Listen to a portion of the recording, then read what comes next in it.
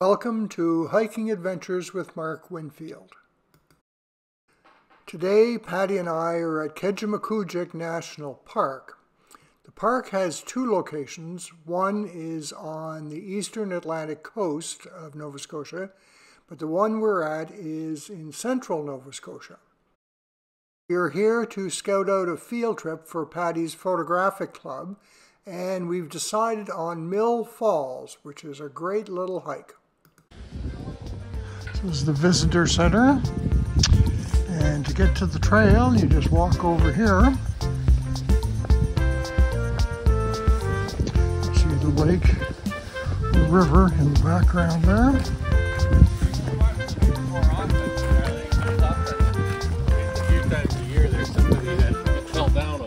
The trail starts right here.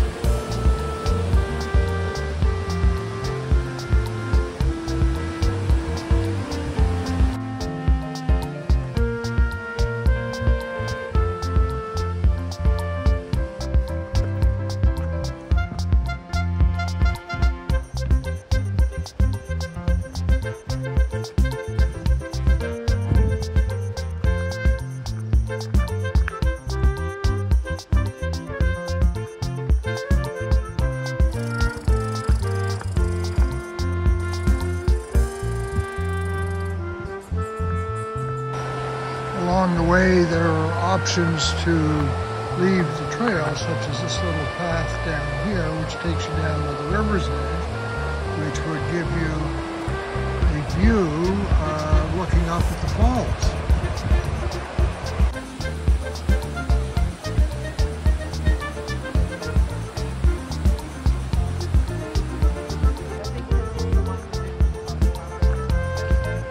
This is a really nice hike you know, suitable for your field trip.